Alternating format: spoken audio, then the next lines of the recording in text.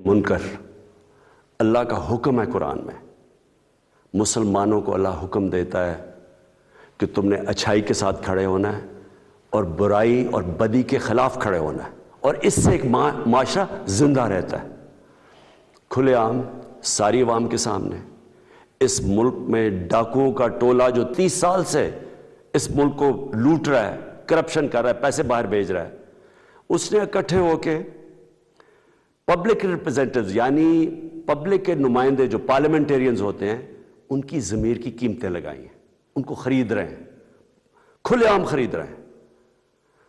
मैं ये चाहता हूँ कि सारी मेरी कौम सत्ताईस तारीख को मेरे साथ निकले, सिर्फ़ एक पैगाम देने के लिए कि हम बदी के साथ नहीं हैं, हम बदी के खिलाफ हैं। हम इस मुल्क में ये जो जुर्म हो रहा है, मुल्क की जमहूरियत के खिलाफ, कौम के खिलाफ अवाम के खिलाफ कि आप चोरी के पैसे से पब्लिक के नुमाइंदों के ज़मीर खरीद रहे हो, कौम इसके खिलाफ है।